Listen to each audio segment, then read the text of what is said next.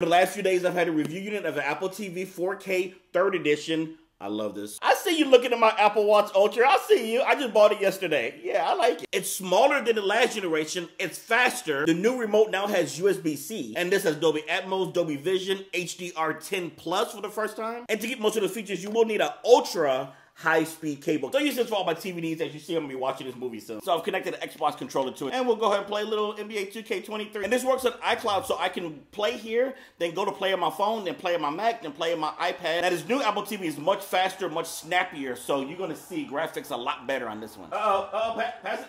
Oh, okay, what happened was... All right, all right, come on, come on, come on.